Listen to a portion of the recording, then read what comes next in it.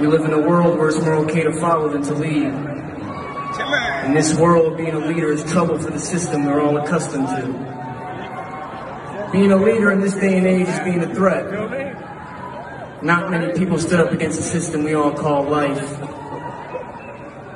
But towards the end of our first 10 years into the millennium, we heard a voice. A voice who spoke to us from the underground. A voice who spoke of vulnerabilities and other human emotions never before heard so vividly and honest.